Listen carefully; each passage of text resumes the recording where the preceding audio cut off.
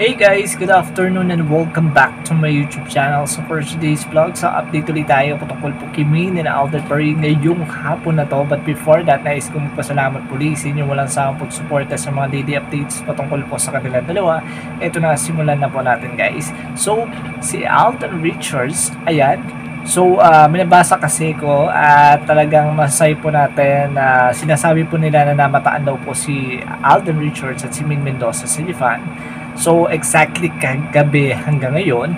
So, the same time, uh, di ba Christmas party po ng True Blooded ADN at Alden Nation kahapon. May dahilan pala kung bakit hindi po nakapunta po si Alden Richards mismo sa Christmas party ng ADN.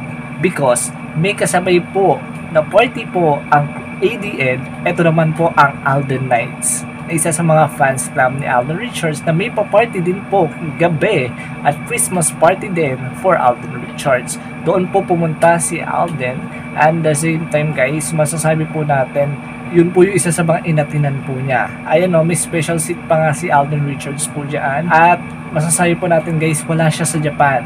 Huwag kayong maniniwala na nasa Japan po siya. Baka umasa naman po kayo And then the same time guys, uh, yan po yung isa sa mga happenings po kay Alvin Richards kagabi. At exactly, inabot na po yan ng gabi, ng gabing gabi, mismo yung party po na yan.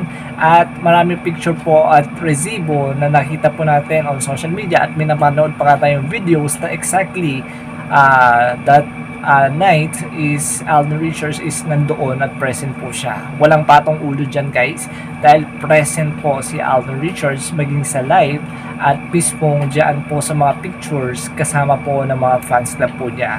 At sa mga nagsasabi na nasa Japan si Alden Richards, respect na lang po natin yung kanilang paniniwala pero iba po yung paniniwala ko at alam ko nandito po si Alden Richards sa Philippines, wala siya sa Japan. So sana kung uh, kung hindi kayo naniniwala sa atin, so it's up to you guys kung saan po kayo much better na maniniwala. Respetuhin ko po 'yan.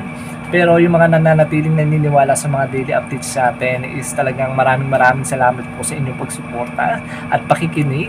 God bless you all and Merry Christmas to everyone. And Also guys, uh, si Min Mendoza naman po ay nasa Japan pa rin po at bukas exactly tomorrow po yung uwi po nila at balik po nila sa Philippines. Kapag napaaga po mismo, baka mag-live na po siya mismo dito po sa Itbulaga by Wednesday.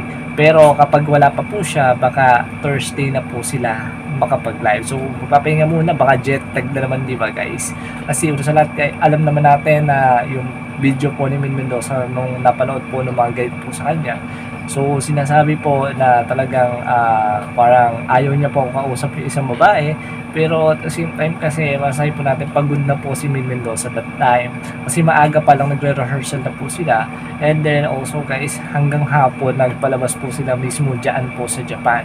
And since uh, sinasabi din ng iba na masama pa rin po yung pakiramdam ni Min kahit na pumunta po siya sa Japan so pinilit lang po talaga ni May na talagang mapasaya ang lahat. And uh, sa nararamdaman niya ay iba pa rin. So masasabi po natin lahat po yan is talagang nangyari po kahapon. And yung pagkakagulo po ng mga tao doon po mula sa stage hanggang sa backstage hanggang sa sasakyan po niya mismo sa paghatid po sa kanya. At tinabi na nga po si Min Mendoza na dahil hindi po makalabas sa po ng tao.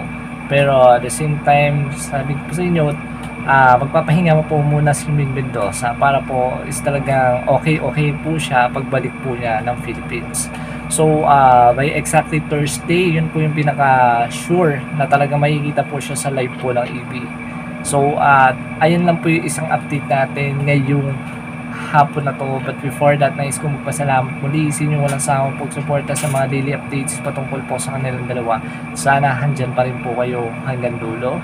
So, salamat at thank you guys for nood and see you for my next video. Bye-bye guys!